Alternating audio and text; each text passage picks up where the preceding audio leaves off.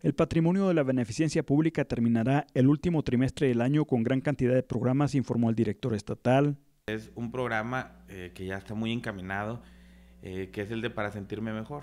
Es un programa a través del cual nosotros ponemos prótesis de mama a las mujeres que han sobrevivido al cáncer de mama.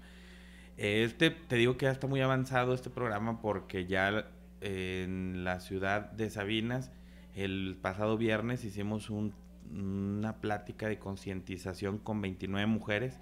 El día de mañana vamos a hacer una plática en el auditorio del, del hospital geriátrico con 22 mujeres y el viernes vamos a hacer una en la ciudad de Torreón con alrededor de 35 mujeres. La idea es eh, que son mujeres que ya están valoradas, que ya, eh, pues ya, eh, mujeres que han, que han acudido a las oficinas de la beneficencia pública y de muchos DIF municipales, ya con un diagnóstico médico, aunque pues nosotros tendremos que valorarlas o las tendrá que valorar un médico que es quien las va a intervenir pero pues ya están muy, muy avanzadas. Además, realizarán un programa de operaciones de cataratas y ya cuentan con 280 personas ya identificadas de las 400 que tienen autorizadas.